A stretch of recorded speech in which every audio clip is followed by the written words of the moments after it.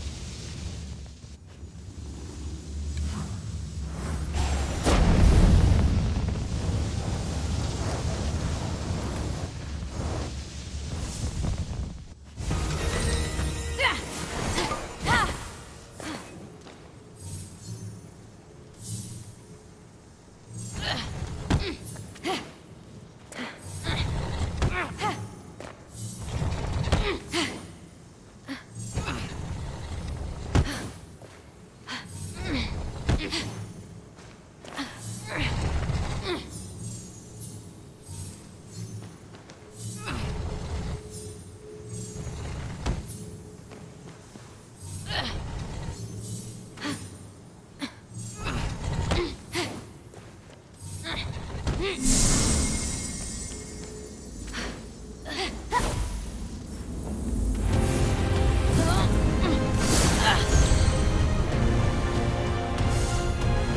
was arrogant. As the architect of the Minotaur's Labyrinth, I chased perfection with a cold heart. I murdered my nephew, afraid his genius would eclipse my...